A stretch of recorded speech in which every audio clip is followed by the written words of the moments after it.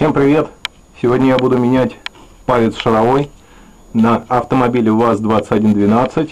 Вот эта деталь. Вот. Подлежит замене. Значит, что нужно, какой инструмент нужен для того, чтобы произвести замену? Ну, во-первых, потребуется сам палец шаровой.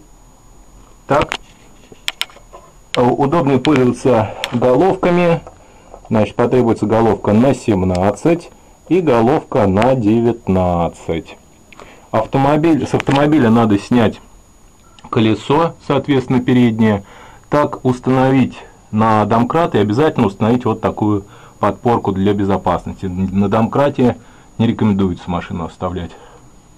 Так, что еще потребуется? Потребуется вот такой вот съемник, съемник шаровых опор Выглядит он вот так.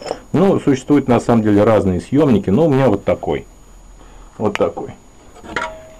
Не бесполезно будет также и вот такая штучка, как ВД-40. ВД-40. Ну, у кого нет, можно э, эти гайки для облегчения отвертывания побрызгать там старой тормозушкой, ну, какими-нибудь проникающими смазками, не обязательно ВДшкой. Также потребуется монтажка, монтажная лопатка, вот такая вот и молоток. Ну что ж, прежде всего нужно будет ослабить основную э, гайку шарового пальца. Не полностью открутить, а только ослабить. Ослабить. Ну, сейчас мы этим и займемся.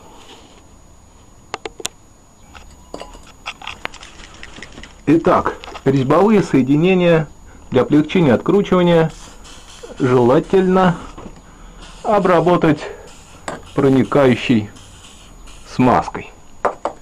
Вот так. Вот так вот. Попшикали, немножко подождали.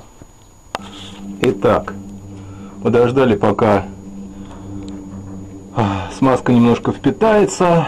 И а, вот, используя головку, я вот еще вот такой вороток подсоединил. Так, сейчас нам нужно будет открутить, ослабить гайку шарового пальца. Так, вот как видно я немного открутил, не до конца, не до конца. Теперь необходимо установить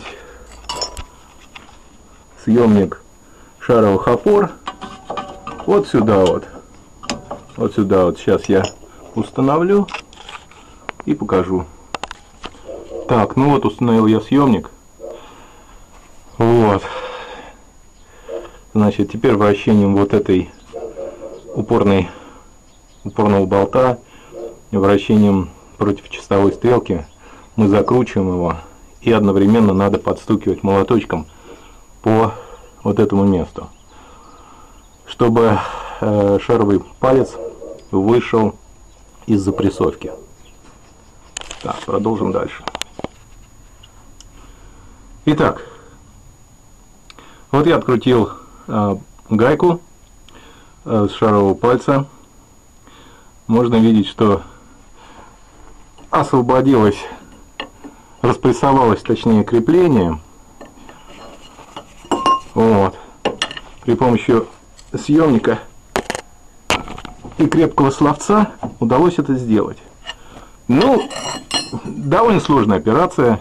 Ну, не то чтобы сложная, а, конечно, удобнее ее делать на подъемнике, удоб... Э, в условиях станции техобслуживания. Ну, можно и в гараже, немножко помучившись, можно это все сделать.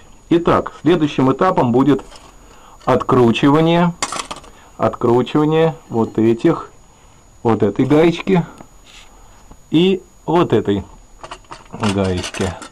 Вот который держит сам шаровый палец. Сейчас я их откручу. Итак, шаровый палец снят. Еще один инструмент, очень полезный, который нужен каждому автомобилисту. Это вот такой вот ломик. Без него эту операцию одному не провести. Поэтому только с помощью ломиков помощью этого ломика можно вот так вот отжать, отжать подвеску вниз и вытащить шаровую опору. Вот шаровая опора старая. К сожалению, неудобно снимать, я один. А, как видно, что палец болтается. А, ну, в общем, тут я пока снимал, порвал э, резиновый сальник. Она мне уже не нужна, так как она уже довольно изношенная, болтается. Вот. Она скрипела, так что деталь изношена, подлежит выбросу на помойку, в утиль. Так, теперь нужно ну, немножко очистить тут от грязи и установить, установить на это место новую, новый шаровый палец. Так, так выглядит новенький шаровый палец. Ну, это один стандартный, недорогая деталь из разряда стандартных, вазовских. Ну, вот. На новом шаровом пальце а, вот этот вот палец, он сидит намертво. Его так просто руками не провернешь, не согнешь, он вот зафиксирован туго должен быть. Ну, вот сюда вот я еще наложил смазки. Внутрь смазки не было. Я наложил смазки. Поэтому сейчас я буду его устанавливать на свое место. То есть вот сюда. Вот сюда. Что я сейчас и буду делать? В комплекте шарового пальца идут новые болты с гроверами. Их надо и поставить взамен старых проржавевших. Что я сейчас и буду делать. В комплекте шарового пальца идут новые болты с гроверами. Э, их надо и поставить взамен старых проржавевших. Что я сейчас и буду делать.